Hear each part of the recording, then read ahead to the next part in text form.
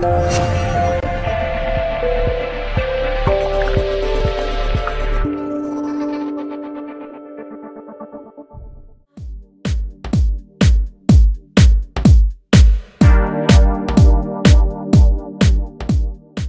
To के खिलाफ वैश्विक रूप से छिड़े अभियान के बाद बॉलीवुड भी इससे अछूता नहीं रहा और इसके घेरे में कई सेलिब्रिटी आ गए।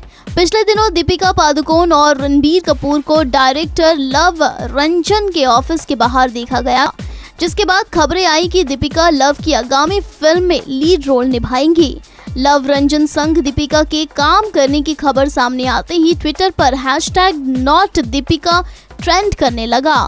फैंस ने दीपिका से अपील करते हुए कहा कि वो मी टू के आरोपी लव रंजन संघ फ़िल्म ना करे। दीपिका के फैंस के लिए अब राहत की खबर सामने आई है। एक मैगजीन को दिए इंटरव्यू में जब दीपिका से पूछा गया कि क्या वो किसी ऐसे शख्स के साथ काम करेंगी, जिस पर यौन उत्पीड़न का आरोप लगा हो?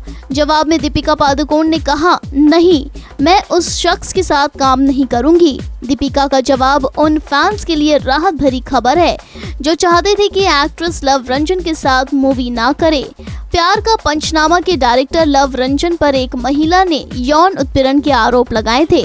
एक अभिनेत्री ने लव रंजन पर गंभीर आरोप लगाते हुए कहा था कि वे प्यार का पंचनामा की ऑडिशन के दौरान लव की अश्लील बातें सुनने के बाद असहज हो गई थी।